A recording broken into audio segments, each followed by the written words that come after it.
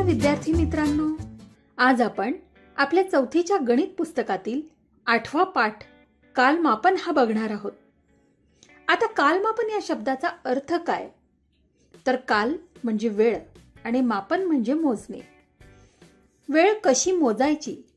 तर म्हणजे वेळ सांगायची. घड्याळातील काट्यांनुसार हे आज आपण शिकणार आहोत.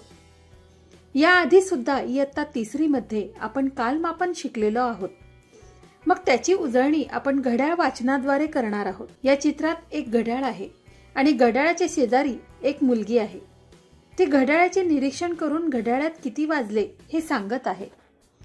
आता या घड्याळामध्ये आपल्याला काटे दिसत आहेत.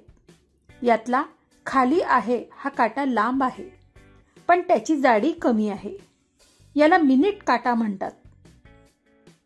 आणि एक आणि दोनच्या मध्ये असलेला हा काटा लहान आहे पण जाड आहे. याला तास काटा म्हणतात. आता बघा तास काटा एक आणि दोनच्या मध्ये आहे. म्हणजे म्हणजेच नक्कीच एक वाजून गेलेला आहे.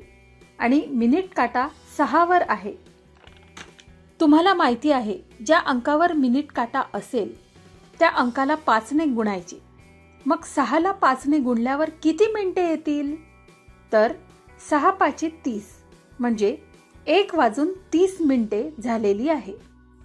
तुम्हाला माहिती आहे एक वाजून तीस मिनिटे जेव्हा होतात तेव्हा त्याला दीड वाजले म्हणतात. एक वाजून तीस मिनिटे म्हणजे एक वाजून अर्धा तास झालाय. म्हणजे एक आणि अर्धा तास म्हणजे दीड तास झालेला आहे. म्हणून त्याला दीड वाजले असे सुद्धा म्हटले जाते.